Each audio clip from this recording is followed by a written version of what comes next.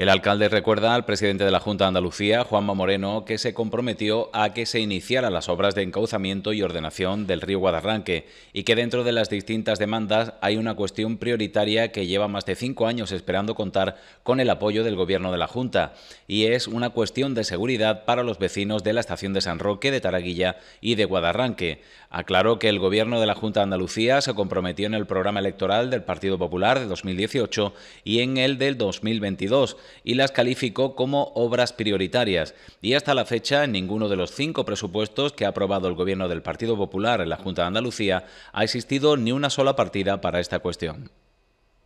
Dudas en que si es una obra de interés general, en si no es una obra de interés general. Queremos que haya respuesta. El Gobierno de España va a invertir más de 50 millones de euros en San Roque para la nueva depuradora, que va a dar servicio al municipio de Los Barrios y al municipio de San Roque, con una previsión de más de 100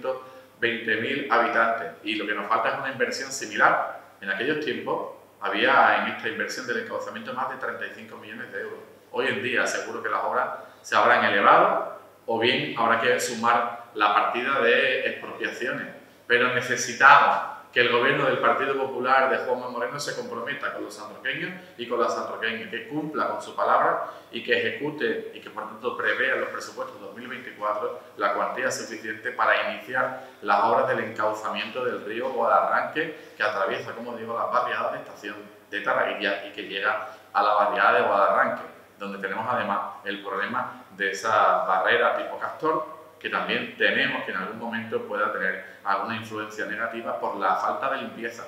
por la falta de mantenimiento y por la falta de conservación de los márgenes del río Guadarranque, que hace cinco años que no se realiza ninguna actuación, ninguna ejecución de limpieza de los márgenes del río Guadarranque. Por tanto, demando las dos cuestiones, las obras de encauzamiento, que superan seguramente más de 40 millones de euros, y otras cuantías más pequeñas para labores de conservación, de limpieza de los márgenes del río Guadarranque.